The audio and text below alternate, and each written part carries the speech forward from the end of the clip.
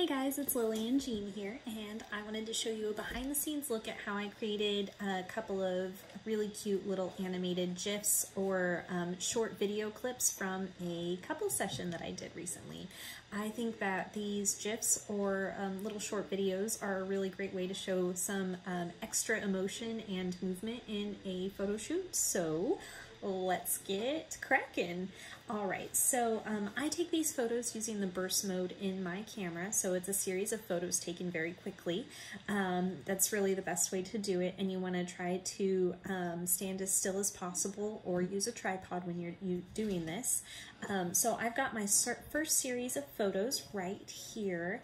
And what I'll do is um, usually edit one of them. So the very first photo in the series of photos that I want to use. I've already already edited this one and then what I'll do is I'll just sync that edit to the rest of the photos in the series so that they're all edited exactly the same and um, it's important to notice that I sync when I sync them my crop and level is the same for each one. Um, you can fix that later on if you don't do it now. Go ahead and show that again. I go really fast when I'm editing by myself.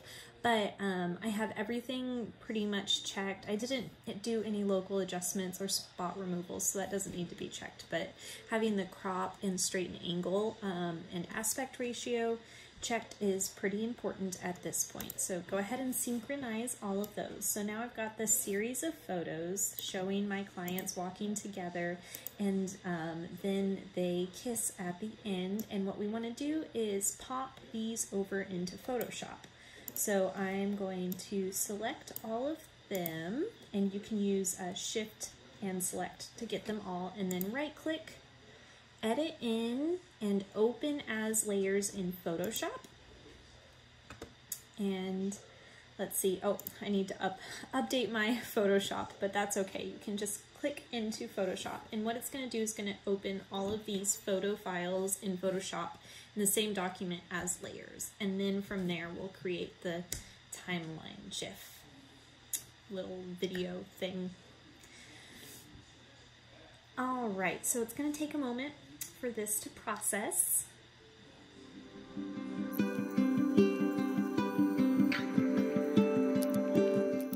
Okay, so once all of the files are loaded into Photoshop as different layers, what you're going to do is you're going to want to open the timeline window, which is not usually turned on automatically. So you'll go to Window, Timeline, you'll get this little section down here. Next, you will um, select Create Frame Animation, and then coming over to the menu, you're going to make sure to select all of the layers and then hit this little um, hamburger button down here and select make frames from layers.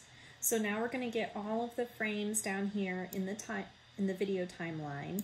Um, and if you select play, you'll notice that everything is going backwards. I'm not sure why everything loads in backwards, but there's a way to fix it and it took me forever to figure this out. So I'm gonna help you out. You're gonna go back to that little hamburger button and select reverse frames.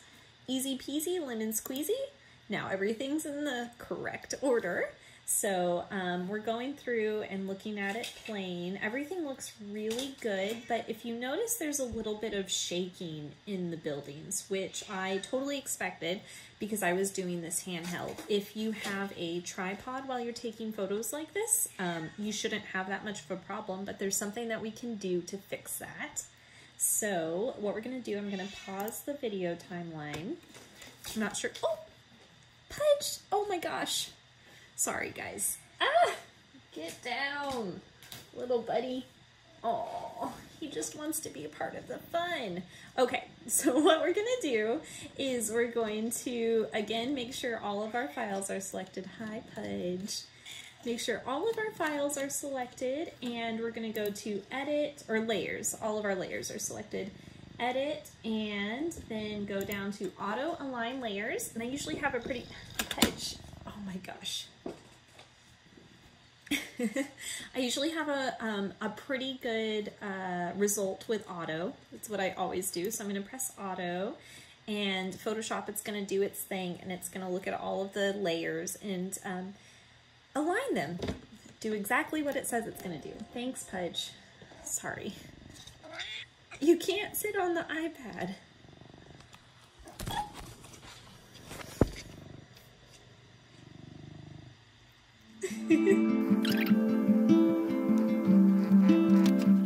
Okay, so now that all of the layers are aligned, you can see that we've got a little bit of a border, but don't worry, we can take care of that. So we're going to click the free transform button. And what I do is I just make it a little bit bigger so that all of the spots are filled in and then you can select or press enter to solidify it. And um, then we're going to play it again and just make sure that there aren't any holes as we go through the frames.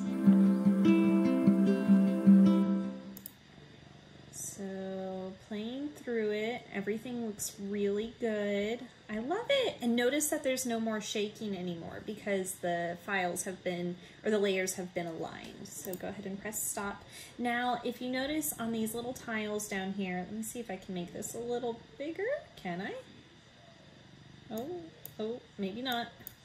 I always have the hardest time getting my windows to be bigger. Oh well, not to be bigger today. Anyways, if you notice right down here below each of these frames, there's a zero second, and that's how long it's to play.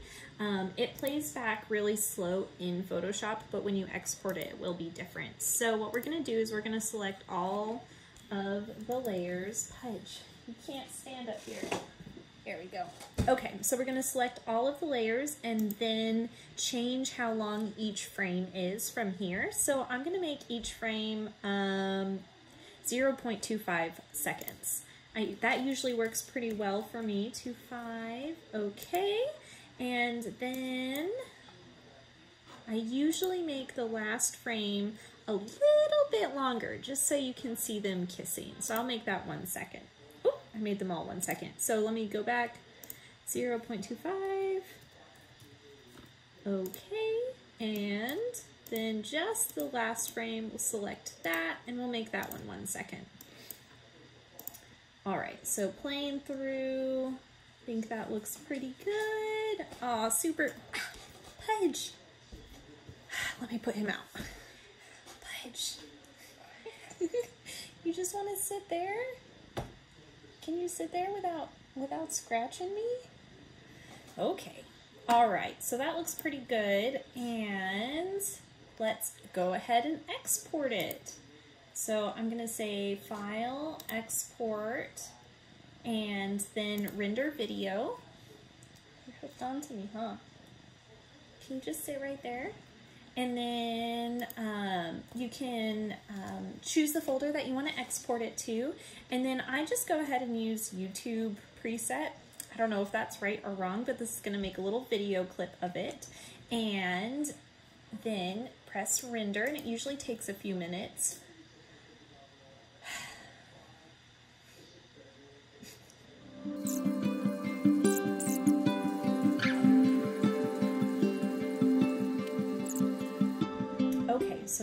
It's finally exported, let's see what it looks like.